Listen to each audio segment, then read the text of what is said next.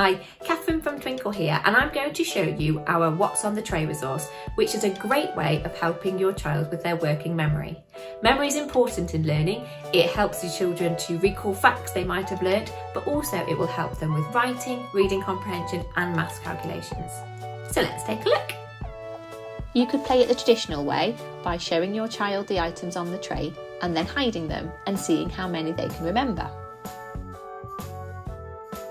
Why not show the items on the tray, cover them up, and remove one of the pictures whilst your child isn't looking?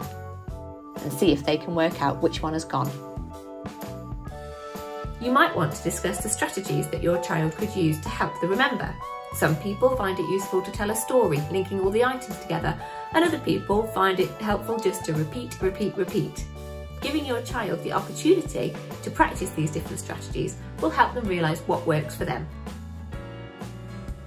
You could even swap one object in and out and see if your child can decide which one has gone and which one is now there in its place.